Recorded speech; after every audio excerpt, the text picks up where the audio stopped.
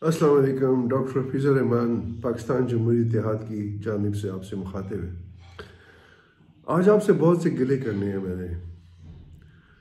اگر آپ واقعی سچے پاکستانی ہو تو آپ مجھے ایک بات کا جواب دیں۔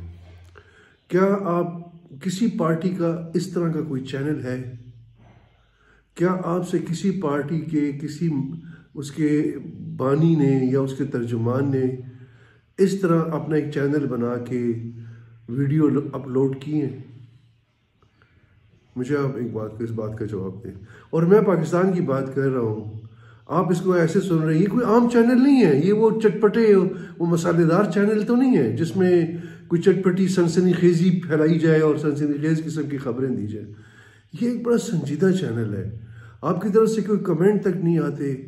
پھر آپ پڑھتے بھی ہو۔ پھر آپ چار چار پانچ پانچ گھنٹے بیٹھ کے نواز شریف، عمران خان اور بلاول اور پیپلز پارٹی اور فوج اور چار چار پانچ پانچ گھنٹے آپ باتیں بھی کرتے ہیں اپنے ڈرائنگ روموں میں اور ساتھ ساتھ فروٹ بھی کھا رہے ہوتے ہیں، سویٹ ڈش بھی کھا رہے ہوتے ہیں۔ اور حالت یہ ہے کہ جب اس چینل پہ آگے میں آپ سے بات کر رہا ہوں، آپ کا کوئی کمنٹ نہیں آتا، آپ پاکستان کے بارے میں کیسا درد رکھتے ہیں آپ پاکستان کے بارے میں؟ کیا آپ سمجھتے ہیں کہ یہ چینل پہ آگے میں اس لیے چینل بنا رہا ہوں کہ مجھے کوئی ون ملین یا چالیس ملین لوگ چاہیے اور میں اپنی انکم شروع کر دوں۔ یہ وہ چینل تو نہیں ہے۔ یہ اس طرح کا کوئی ایک چینل آپ مجھے بتا دیں۔ اور سبسکرپشن کا ہمارا یہ حال ہے۔ اور مجھے نہیں پتا کہ آپ آگے کتنا فارورڈ کرتے ہیں۔ یار، اگر آپ پاکستان سے تھوڑی سی بھی محبت رکھتے ہیں نا، اگر آپ پاکستان کا کچھ احسان اپنے اوپر سمجھتے ہیں کہ آپ کے، اس پاکستان نے آپ کو کیا کچھ نہیں دیا، اگر آپ یہ جاننا چاہتے ہیں کہ پاکستان نے آپ کو کیا کچھ نہیں دیا تو اپنے آباد و اجداد کی ہسٹری نکال کے لے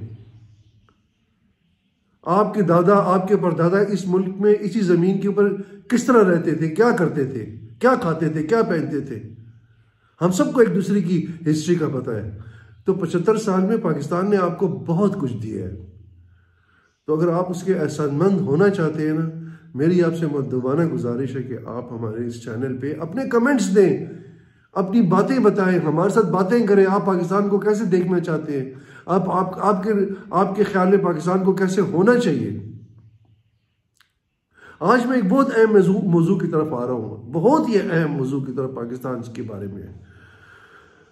اور اس کو بڑی، اور یہ ویڈیو ہو سکتا ہے، لمبی ہو جائے، لیکن آپ نے اس کو سننا ہے، سمجھنا ہے۔ اگر آپ نئی نسل سے تعلق رکھتے ہو، اگر آپ جوان ہو یا نوجوان ہو، تو آپ یہ یہ آپ ہی کے وطن کی، اس پاک دھرتی کی، اس کی تاریخ سے یہ تعلق رکھتا ہے یہ موضوع۔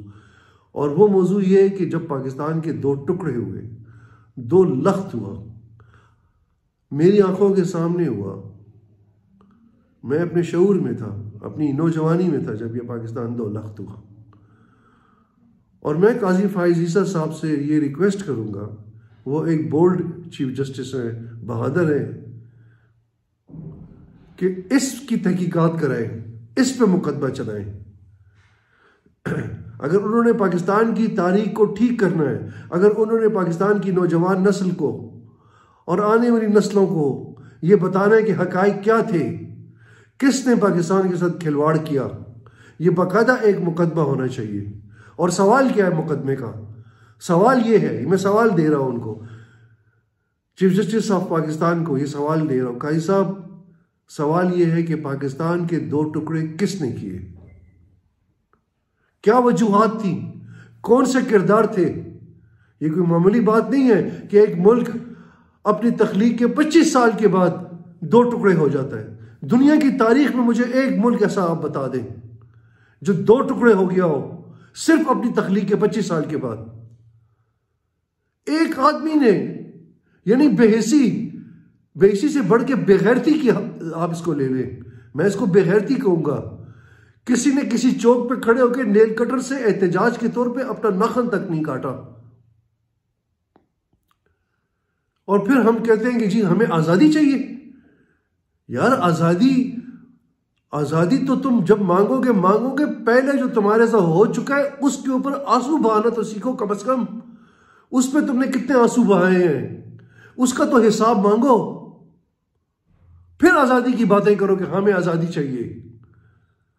جنہوں نے تمہارے ملک کے دو ٹکڑے کیے، اس کا حساب مانگا ہے کبھی؟ تمہارے رہنما نے مانگا ہے۔ کسی رہنما نے مانگا ہے، کسی پارٹی نے مانگا ہے، کسی جماعت نے ڈیمانڈ کی ہے۔ پاکستان جمہوری اتحاد یہ ڈیمانڈ کر رہا ہے، یہ مطالبہ کر رہا ہے۔ پاکستان کے چیف جسٹس سے، سپریم کورٹ آف پاکستان سے جناب اعلیٰ، یہ کوئی معمولی بات نہیں ہے۔ یہ وہ واقعہ ہے جس پہ وہ اگر کردار قبروں میں بھی چلے گئے نا اور وہ قصوروار ہیں تو ان کی قبروں کو کھود کر ان کے ڈھانچوں کو ڈی چوک میں لٹکانا چاہیے۔ جو قومیں اپنے ماضی سے نہیں سیکھتی، جو قومیں اپنی ماضی سے عبرت حاصل نہیں کرتی، ان کا مستقبل ہمیشہ تاریخ ہوتا ہے۔ آج آج جو یہ مایوسی ہے، آج ہر پاکستانی اس ملک کو چھوڑ کے جانا چاہتا ہے۔ آج ہر پاکستانی کہہ رہے ہیں پاکستان بچے گا کہ نہیں بچے گا۔ اور یہ یہ مایوسی، یہ یہ خفگان، یہ پریشانیاں، یہ اسی وجہ سے ہے کہ ہم نے اپنے دو لخت ہونے والے اس اس عظیم، اس اندھوناک سانے کی ہم نے پہ پردہ پوشی کی، آنکھیں بند کر لی چشم پوشی کی۔ اور پھر اس کے بعد پہ در پہ واقعات ہوتے رہے۔ پھر اس کے بعد ہم نے یہ بھی دیکھا کہ آرمی پبلک اسکول کا واقعہ بھی ہوا۔ اس کے بعد پھر اور بھی واقعات ہم نے دیکھے اپنی تاریخ میں، جو کہ دنیا کی تاریخ میں انوکھے واقعات تھے۔ تو میں سمجھتا ہوں، میری قائد فائز صاحب سے یہ ریکویسٹ ہے، آج کی ویڈیو اسی بارے میں ہے کہ پاکستان دو لاکھ کیوں ہوا؟ کیسے ہوا؟ اور آپ یہ بات نوٹ کر لیں کہ اکہتر کی کہ اس سانے کے بعد سے پاکستان آج تک نہیں سنبھل سکا۔ پاکستان اپنے پاؤں پہ کھڑا ہی نہیں ہو سکا۔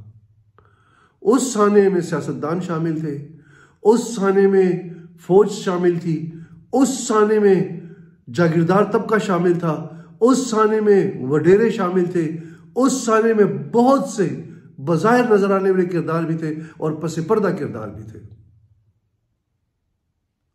اس کے کردار، اس وقت کے کردار آج بھی زندہ ہیں۔ ابھی بھی وقت ہے کہ ہم ایک بہت اچھا مقدمہ لڑ کے سامنے لے کر آئے اپنی عوام کے سامنے لائیں، اپنے، اپنی نوجوان نسل کے سامنے لے کر آئیں۔ اس میں ہماری عظمت ہے کہ ہم اپنی اپنی کوتاہیوں کو تسلیم کریں۔ یہ اعلیٰ ظرفی کی مثال ہے۔ میں کہتا ہوں کہ جس رہنما میں اعلیٰ ظرفی نہیں ہوتی، وہ رہنمائی کے قابل ہی نہیں ہو سکتا۔ جس جماعت میں اعلیٰ ظرفی نہ ہو، وہ جماعت رہنمائی کے قابل ہی نہیں ہو سکتی۔ جس سیاسی لیڈر میں اعلیٰ ظرفی نہ ہو، اسے اپنے آپ کو لیڈر کہتے ہوئے شرم آنی چاہیے۔ اور اعلیٰ ظرفی کیا ہے؟ اعلیٰ ظرفی یہ ہے ہاں ہم سے غلطیاں ہوئیں۔ ہاں ہم تسلیم کرتے ہیں۔ ہاں ہماری ہماری تاریخ میں ایسے کردار رہے ہیں جنہوں نے اس ملک کو دو ٹکڑے کیا ہے۔ تو عزیزان من، میرے دوستوں، میرے ساتھیوں مصطفیٰ خر صاحب زندہ ہیں۔ یہ اس وقت ذوالفقار علی بھٹو جب مغربی پاکستان میں میجورٹی میں آئے تھے اور مشرقی پاکستان میں عوامی لیگ آئی تھی، تو مصطفیٰ خر صاحب جایا کرتے تھے یہاں سے ان لوگوں سے ڈائلاگ کرنے کے لیے۔ اچھا دلچسپ بات یہ ہے کہ شیخ مجیب کے بارے میں ایک بیانیہ بنایا گیا مغربی پاکستان میں۔ اور پنجاب تو آپ کو پتہ ہے کہ ہمارے مغربی پاکستان میں پنجاب پھر ساٹھ فیصد ہے اور پنجاب کی آبادی بھی زیادہ ہوتی ہے۔ تو پنجاب میں یہ تاثر پھیلایا گیا، بنایا گیا کہ شیخ مجیب الرحمان جو ہے غدار ہے بھٹو کے دور کی جتنی بھی بیانیے بنے، وہ بیانیے آج تک آج تک وہ چل رہے ہیں۔ بھٹو نے کہا، پاکستان کو بائیس خاندان کھا گئے، وہ بیانیے بھی آج تک چل رہا ہے بھٹو نے کہا، شیخ مجیب الرحمان غدار ہے، وہ بیانیے بھی آج تک چل رہا ہے۔ بھٹو نے اس ملک میں منفی سیاست کی بنیاد رکھی، الزامات کی بنیاد رکھی۔ کہا یہ جاتا تھا کہ جی چھ نکات اگر ہم نے مان لیے، اب چھ نکات کا کسی کو بھی پتا نہیں تھا کہ چھ نکات مجیب الرحمان کے تھے کیا۔ بھئی، چھ نکات اس کی پارٹی کا ایک منشور تھا۔ اس منشور کی بنیاد پہ اس نے عوام سے ووٹ لیے اور وہ میجورٹی میں آ گیا۔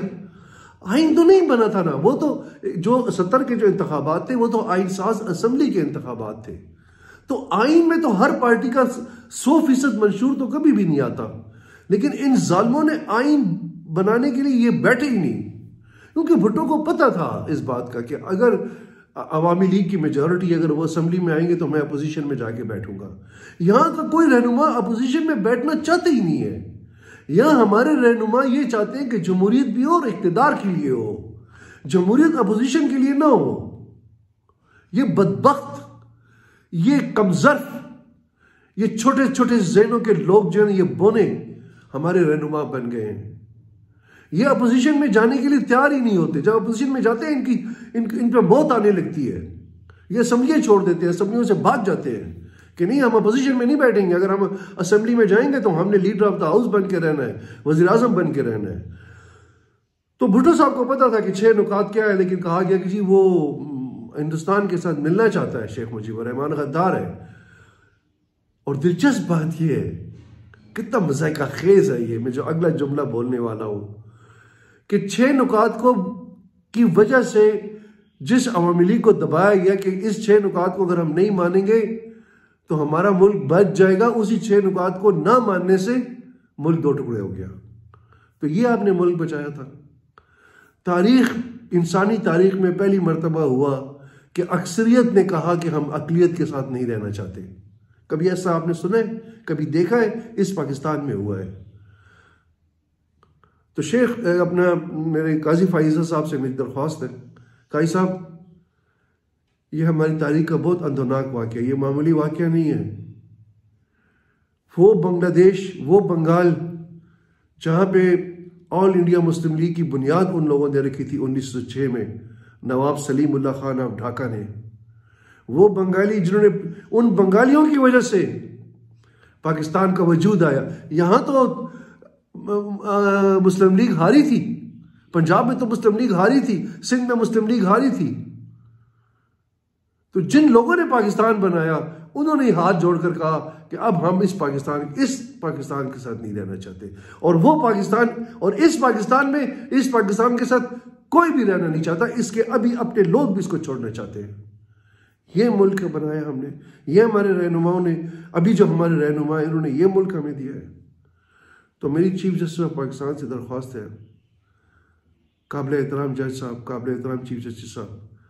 آپ دو لخت پاکستان کا مقدمہ چلائیں، خدا کے لیے، یہ بہت ضروری ہے ہمارے لیے۔ بہت بہت شکریہ آپ کا، بہت مہربانی۔